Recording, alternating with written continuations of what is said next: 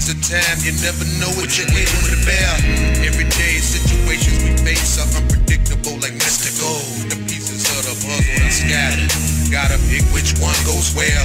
Truth or dare, mental opposition you face. You either win or you lose the race. So make no mistake, or you could speed up your face off with your name. Lights, camera, action. Now you're relaxing. The flash is what you see. Your picture is what they buried you. In these days of time, it ain't no joke. Think it's a game and you might end up getting played like a game of spades. Get your life set. In the zoo, it's either live or die. Become a victim or get your mind right. So who's to blame? Is it Abel or Cain? Adam and Eve?